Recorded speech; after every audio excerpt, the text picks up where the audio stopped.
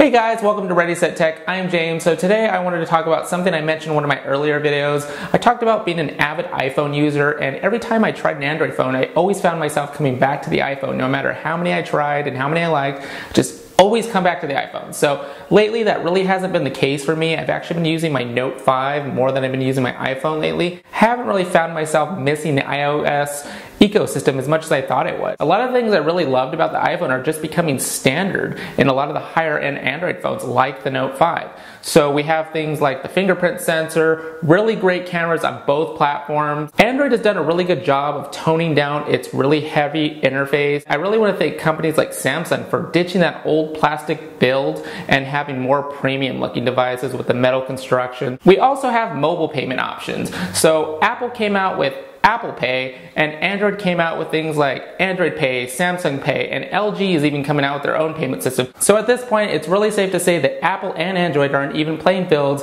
and it really comes down to brand loyalty and whichever operating system you prefer. The truth is, there is no such thing as a perfect smartphone. It's all about personal preference and finding a phone that works for you, whether it be an Android or an iPhone. So please let me know in the comments which device you're using now. Is it an Android or is it an Apple iPhone? So thank you guys for watching. Until next time, I'll see you guys later.